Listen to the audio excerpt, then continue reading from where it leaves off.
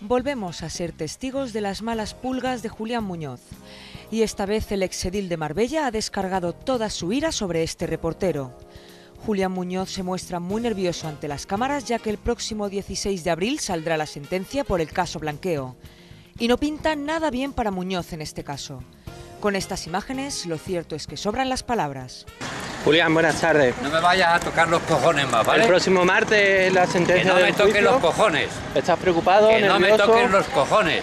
Yo no le estoy tocando Y a ahora usted. se lo das a toda la prensa y decirlo Ah, que salga de los huevos de mí. ¿Vale? ¿Estás preocupado? Que no me toquen los cojones. Podría ingresar en prisión, a mí me Isabel, tocas tú los huevos y tu jefa. Yo no le estoy haciendo nada a usted, estoy Que en me la calle. toquen los huevos tú y tu jefa. Y ahora lo ponéis en toda la prensa. Estoy en la vía pública. Habla de Bárcenas También muy y de interesante. Targarín Es que el y de mar- Gürtel. Que no me toquen los cojones más. Y ahora lo cuentas todo, que me lo pasas, me lo paso por el forro de los huevos. De acuerdo.